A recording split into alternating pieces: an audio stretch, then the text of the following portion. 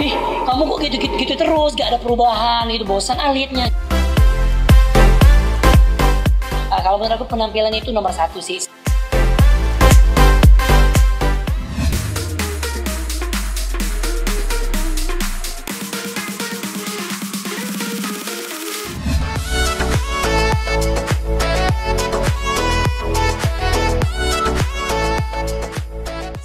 Pedangdut sekaligus pembawa acara, Jirayut Avisan kerap tampil dengan berbagai gaya nyentrik dari ujung kaki hingga ujung rambut.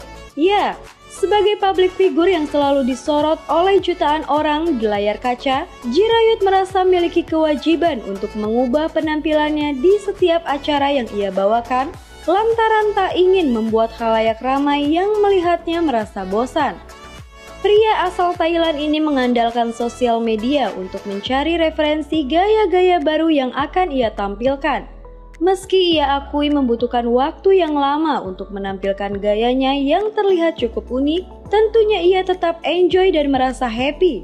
Berikut pengakuan Jirayut mengenai pentingnya sebuah penampilan.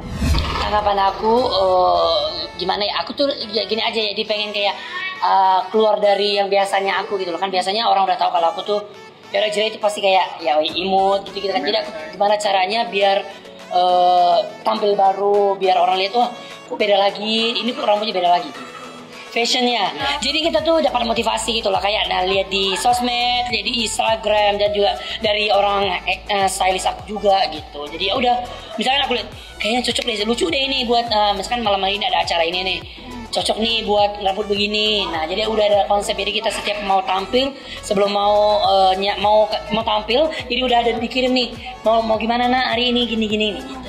Tinggal pilih aja nggak ada sih jadi ya udah kita saling-saling uh, itu aja biar cari itu cari um, apa cari motivasi gitu gimana caranya biar bikin beda lagi rambutnya gitu. oh kalau menurut aku uh, penampilan penting sih karena uh, kita dilihat sama orang ya dilihat sama seluruh Indonesia gitu Nah, jadi kalau misalkan penampilan kita mungkin mungkin ya bisa jadi jelek.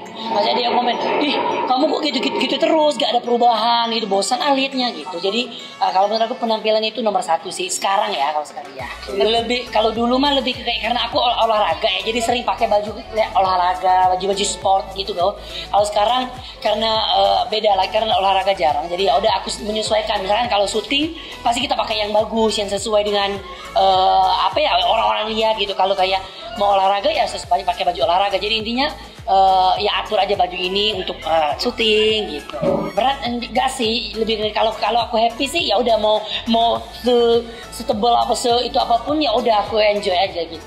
Kalau makeup kalau biasa ya paling aku butuh waktu sejam lebih karena aku rambut juga terus makeup juga jadi butuh waktu makeup aku satu jam lebih biasanya kalau cowok cowok ya makeupnya ya udah bentar doang 30 menit udah selesai kan kalau aku mah lama gitu karena aku rambutnya harus benar-benar kayak benar-benar aku kayak oke aku suka rambut ini gitu terus makeup juga harus benar-benar kayak ya Rap, ya gimana di kameranya biar kelihatan kalau kita tuh bagus